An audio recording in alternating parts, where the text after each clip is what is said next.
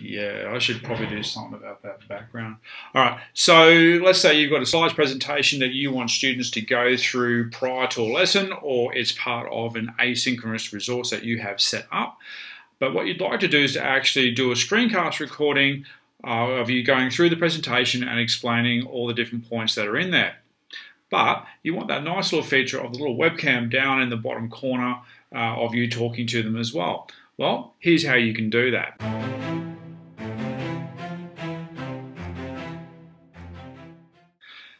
Okay, so before we get too far into it, one thing I'll need to show you is how to set your slide presentation up so that down in this corner here where your webcam is going to show up, we want to make sure that any content that you have in your slideshow isn't going to cover that up. We're going to do that by using something called guides. Now, guides are basically lines that show up in the design view and help you lay the information out on your slide, but when you do your presentation, they don't actually show up. Now, for this, I'm going to assume that you're using the default size for a Google Slides presentation, which is this widescreen 16 to 9. If you change the setup for your presentation, unfortunately, the measurements I'm going to give you won't work. Uh, but I can certainly help you out uh, in a different way if um, if you need to, to set that up. So what we're going to do is we're going to go to View, we're going to come down to Guides, and we're going to edit the guides because I've gone and figured this out and I know where they need to be. So we're going to add a new guide under my vertical option there. I'm going to make that 21 centimeters and I'm going to set that to black. And then I'm going to switch over here to horizontal, add a new guide, and I'm going to make that 10 and make that black. And we're going to go done. All right, so these lines are the ones that I'm talking about. When you actually do your presentation, they don't show up. But when you're designing the layout of your slide, it indicates that this area down here needs to have no content on it. Now, just to illustrate that, when I start showing you the screen recording side of things, I'm going to pop in a couple of shapes. So I'm going to put one here just to show it's sitting outside of the webcam and then on this page I'll pop one in like this to show that the webcam is going to cover it up.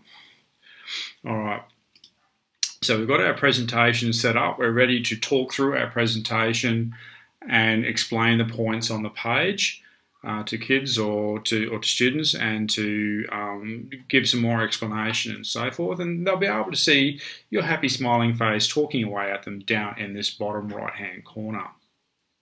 All right, so what you need to do then is come to Screencastify. All right, there we go. And for this, you're going to need to use the option for the browser tab. You'll need to make sure that you've got your webcam turned on. You might like to think about changing the countdown time just to give you a bit more extra time to set your presentation up before the screen recording actually happens.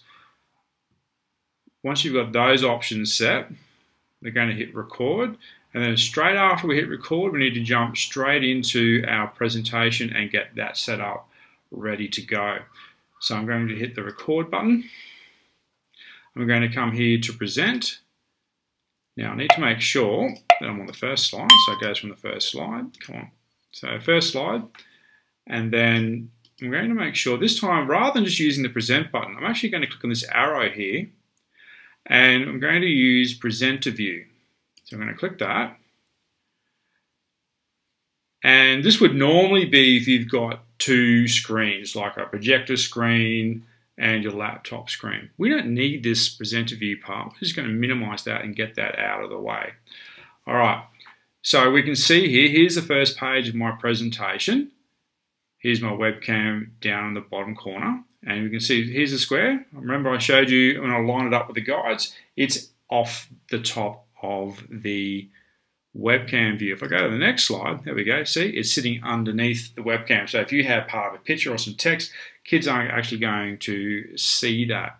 Okay, you've got a couple of options. So if you wanted to sort of pop out of your presentation and go to full screen mode with your webcam, you can go ahead and sort of pop out and then pop back down to your webcam if you need to. If for any reason you need to flip the camera, that's this one here. So it sort of changes the, the, way it's flipping around. So if you're having trouble with your text not showing up properly, if you hold up a document, you might need to use that option there. All right, when you're done with your presentation, obviously we're just going to go and stop the recording. All right, uh, I'll just pop this out into full screen mode. There we go. And so we can see that, right, so this is obviously the first part where we were setting up. There's our presentation there. So you would toggle back and forth and use your cut or your trim option to sort of work out where it needs to start.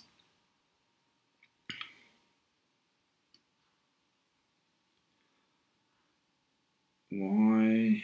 And there we go. So, you know, there's where it started with the, the webcam kicking in. So this, when you save your, when you, when you save your uh, screencast, this is what the students will see. And then you can save your trim.